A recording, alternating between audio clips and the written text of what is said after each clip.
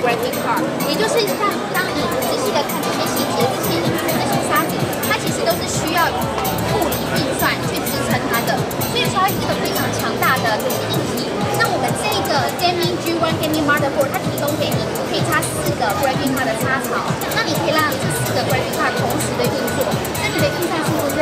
变得相当的缩短，那你的细节。